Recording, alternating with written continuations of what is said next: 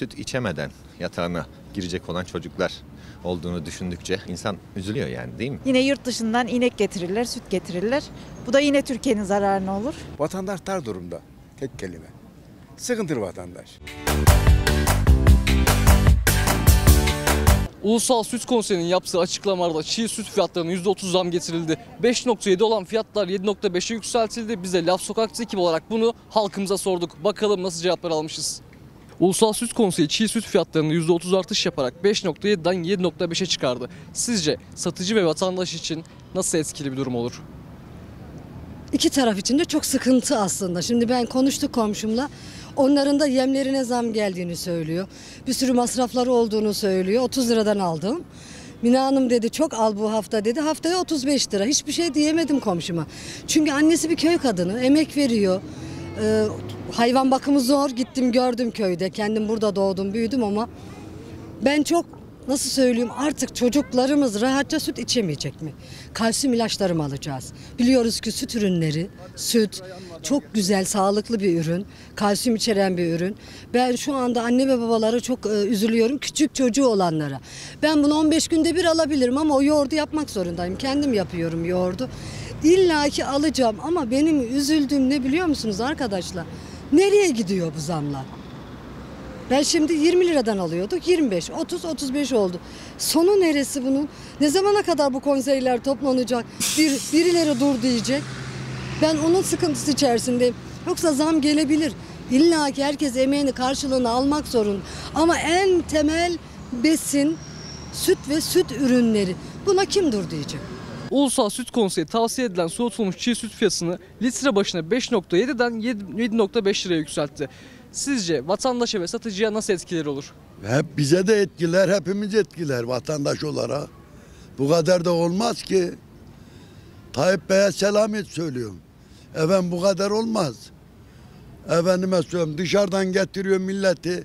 Efendime söylüyorum besliyor. Biz çi- çile çek aldığımız iki buçuk üç milyon maaş geçinemiyor. Arkadaş ev kirası mı verek, doğal gaz mı verek, elektrik mi verek, su mu içecek ne yapak? Vatandaş dar durumda. He. Tek kelime. Çok da dar bulanımdayız. Süt içemeden yatağına girecek olan çocuklar olduğunu düşündükçe insan üzülüyor yani değil mi? Genel e, manada. Böyle bir durum var. Onun için pek iyi etkileyeceğini düşünmüyorum. Zamlardan dolayı zor durumdayız. Başka diyeceğim bir şey yok benim ya.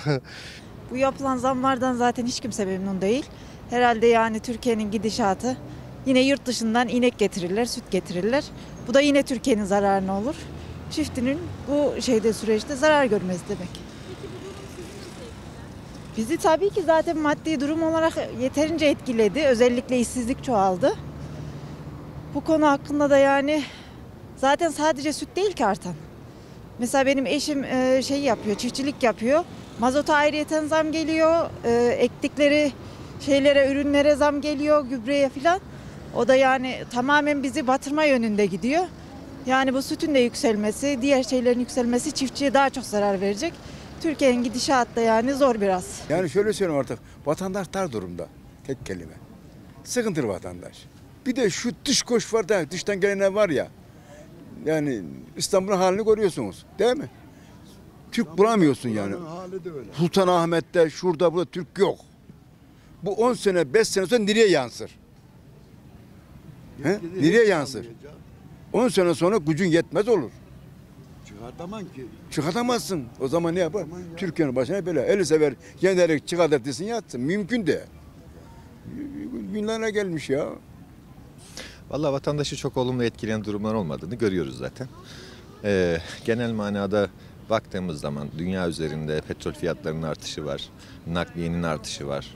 Ülkemizde de bakıyorsunuz zaten görüyorsunuz petrol fiyatlarının, gaz fiyatlarının artmasını.